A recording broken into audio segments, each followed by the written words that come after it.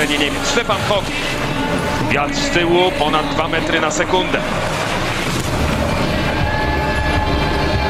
No i zepsuty skok Stefana Hock.